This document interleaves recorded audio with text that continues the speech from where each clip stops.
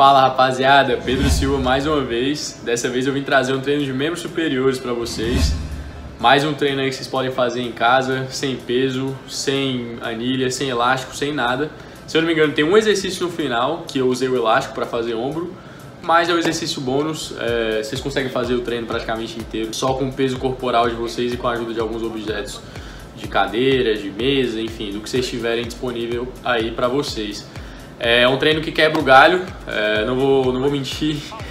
Se tiver um acesso a uma academia, melhor, né? Se tiver acesso a uma barra do lado de fora, ia ajudar bastante. Mas em tempos aí de lockdown, né, com coronavírus, enfim, em tempos que você simplesmente não pode sair de casa, você quer ficar em casa, cara, esse treino quebra o galho e vai dar uma ajuda aí monstruosa para vocês. É, espero que vocês gostem. Qualquer coisa vocês comentem aí embaixo no YouTube, vocês vão lá no Instagram, vocês falam com a gente. É, fala o que vocês acharam, qualquer dúvida pode falar. E se vocês quiserem que a gente continue com essa série de vídeos também, é, por favor, né?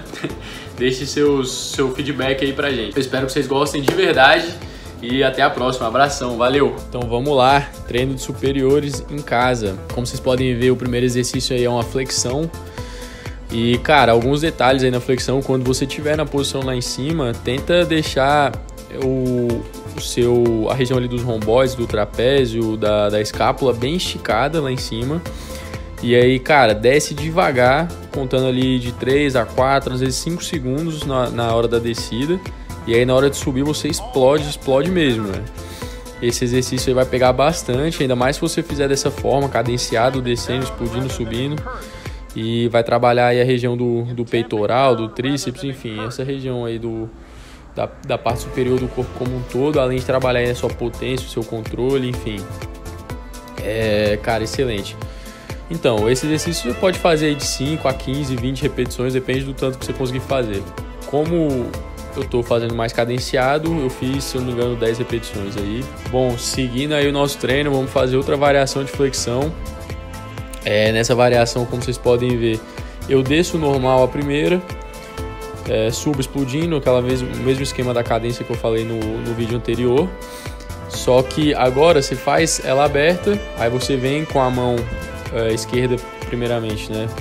Faz ela fechada, abre de novo, faz aberta, volta com a mão direita agora fechando, faz a flexão mais fechada, enfim, continua nessa sequência é, da mesma forma que eu falei, vocês podem fazer aí de, sei lá, 5, 6 até 12, 14, 16 repetições, depende do seu condicionamento. Continuando o treino, como vocês podem ver, eu vou fazer uma paralela agora.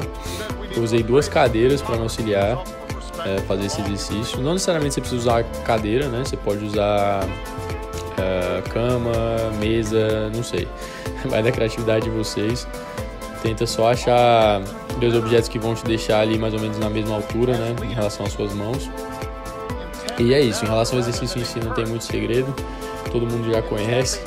É, a única coisa, detalhe né, que, que eu tenho para falar é em relação à cadência do exercício. Mais uma vez eu desço ali em 3, 4, 5 segundos na fase excêntrica e aí na fase concêntrica eu explodo, é, trabalhando bastante aí a força né, dos membros superiores.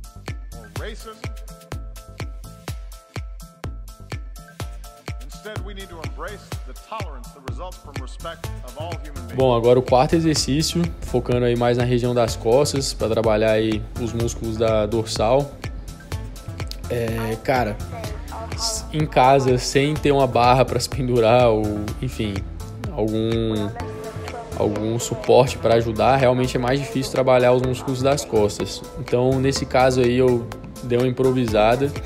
É, eu estava utilizando um saco de arroz ali de 10 libras não é muito pesado, por isso eu é, adicionei a posição da prancha. Como vocês podem ver, meu pé está em cima da cadeira para conseguir me dar uma distância maior do chão e eu consegui ter uma amplitude maior no movimento. É, enfim, não tem segredo. Tenta entrar na posição da prancha aí, mantém o, o glúteo contraído, o, o quadril encaixado e, enfim, de 6 a 12 repetições fazendo ali um serrote Bom, quinto exercício, eu fiz um bisete, entrei na posição ali de flexão é, bem baixa, né? Bem próximo ao chão. Não tô tocando o chão é, com meu peito, com, com minha coxa, nada. Somente minha mão mesmo. Segurei ali na, nessa posição por 30 segundos, fazendo um trabalho de isometria. É, segurando bem, enfim, focando aí na região do, do, do peitoral, mas trabalhando o, o, corpo inteiro, né? Devido a essa posição praticamente de, de prancha ali. É, depois eu levo as minhas duas mãos ali para a posição mais né, à frente do meu corpo e trabalho essa descida ali para para focar principalmente na região do tríceps, enfim, do trabalhando um pouco dos ombros também. Mais uma vez uma posição ali de prancha, então o core de vocês vai estar trabalhando bastante, vai estar bem engajado nessa posição. Bom, rapaziada, último exercício agora. Como vocês podem ver, eu estou utilizando um elástico para me auxiliar. É, se não tiver elástico, cara, sinceramente eu não sei como como repor é, com, com as coisas que a gente tem em casa normalmente. Mas, enfim, se tiver elástico, adiciona aí a rotina que vai, que vai ser bem interessante. É um trabalho aí de, de ombro, né, de deltoide, focando ali na parte lateral dele principalmente, mas que, cara, é excelente para fortalecer ali a região do, dos ombros, né, e evitar lesões, enfim. É, trabalhar aí a musculatura dessa região no corpo de vocês. Esse exercício é uma rotação externa, não tem segredo também. Uma mão ali segura, fica fixa, a outra faz um movimento de abertura. É, tenta deixar o cotovelo em 90 graus. E, cara, é isso. De 6 a 12 repetições. Vai, vai trabalhar bastante e vai ajudar muito aí.